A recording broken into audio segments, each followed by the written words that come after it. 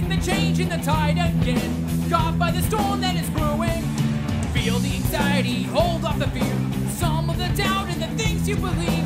Now that your faith will be put to the test, nothing to do but wait what is coming. Why then is God still protecting me, even when I don't deserve it? Thought I am blessed with an inner strength, some they would call it a penance. Why am I meant to face this alone?